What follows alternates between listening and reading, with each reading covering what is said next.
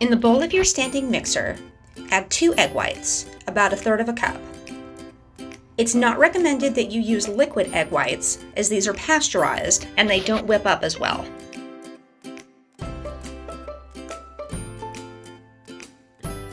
Whisk until frothy.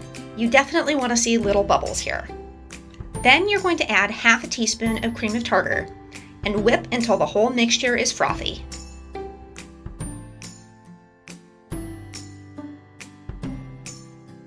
A tablespoon at a time, add half a cup of sugar to your egg whites. Make sure that each is combined fully until adding the next tablespoon. You want to beat this on high for 5 to 7 minutes until all the sugar is combined and your mixture is smooth and glossy. Now, you're going to fold in half a teaspoon of vanilla with a spatula.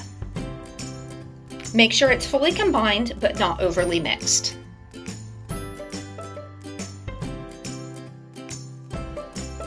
If you don't have a piping bag, use a Ziploc sandwich bag and a large star tip to create your meringues.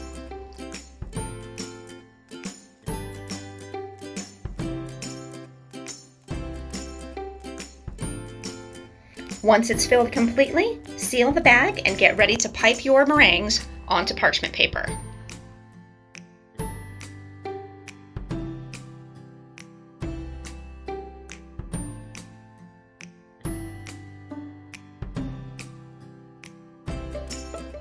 Using very light pressure, pipe 2 inch rounds onto your parchment paper, making sure that none of them touch.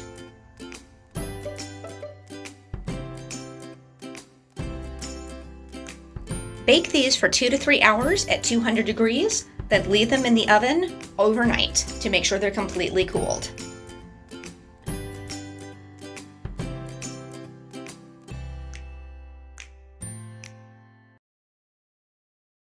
It's also important to understand that egg whites are very sensitive to humidity and they're sensitive to over whipping and under whipping making meringues can be fiddly and a little difficult. Um, I'm going to confess that it took me three tries to get my meringues just right.